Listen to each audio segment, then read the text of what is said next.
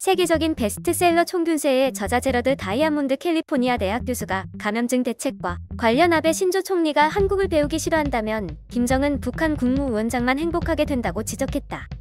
다이아몬드 교수는 8일자 아사히 신문과의 인터뷰에서 일본의 대응에 대해 현 시점에서 일본의 감염자, 사망자가 적은 것은 조기에 해외로부터 입국 제한을 했기 때문이다라며 감염 확산 속도가 멈추지 않는 건 정부 대책의 약점이 원인이다라고 꼬집었다. 그는 많은 국가들의 락다운 기준은 일본보다 훨씬 엄격하다고 말했다. 일본은 현재 전국에 긴급사태 선언을 발령하고 매출 제한, 휴업 요청 등을 내린 상태다.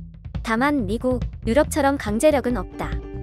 특히 다이아몬드 교수는 한국의 감염증 대책이 세계적으로 높이 평가되고 있으나 일본에서는 배우려 하거나 지원을 요청하는 움직임이 둔하다는 질문에 유럽에서는 유익한 조언이 있다면 예를 들어 그것이 악마로부터 왔다 하더라도 따라야 한다는 말이 있다며 아베 정권이 한국을 배우는 걸 싫어하는 게 사실이라면 북한 김정은 국무위원장은 행복한 기분이 될 것이라고 주장했다.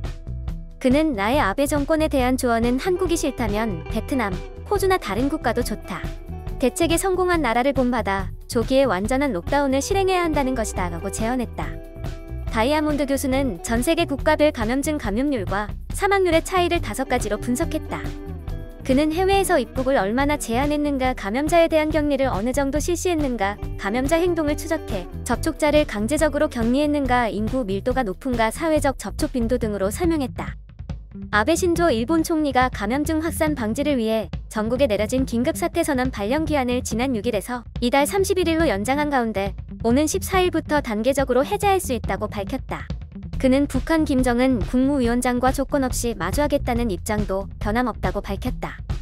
아베 총리는 7일자 산케이 신문과의 인터뷰에서 감염자 수 동향과 전문가의 분석을 고려해 일정 기준을 만족한다면 오는 14일 지역마다 단계적으로 긴급 사태를 해제할 의향을 나타냈다.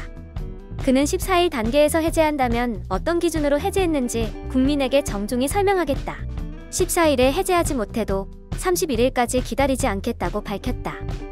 해제 기준에 대해서는 감염자 수, 퇴원자 수의 동향과 감염자 한 사람당 몇 명에게 감염을 확산했는지 알 수 있는 치료제 생산 수, 인공호흡기 수 등을 반영해 검토하겠다고 말했다.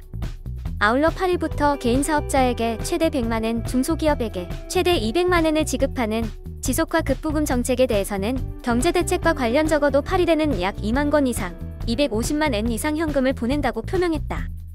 아베 총리는 이미 중소기업 대상 실질 무이자 무담보 융자 20만 건 총 3조 엔 규모의 융자를 실시했다고 밝혔다. 특히 긴급사태 조항이 포함된 헌법 개정에 대해서는 반대하는 사람은 항상 지금은 그런 때가 아니다라고 한다. 시기의 문제가 아니라 필요 여부의 문제가라고 헌법 개정 의혹을 또 다시 드러냈다. 감염증 대응을 위해 긴급사태 조항 창설해야 한다며 개헌을 추진하고 있으나 실은 평화헌법인 헌법구조의 자위대의 존재를 명기하고 싶은 속셈이 읽힌다. 아베 총리는 북한 문제에 대해서는 김정은 국무위원장과 조건 없이 대화하겠다는 기존 입장과 관련 결정은 지금도 변함없다. 여러 루트로 모든 수단을 취하겠다며 일본인 북한 납치 문제 해결에 전력을 다하겠다는 생각을 나타냈다. 영상이 도움이 되셨다면 좋아요와 구독을 부탁드립니다. 시청해주셔서 감사합니다.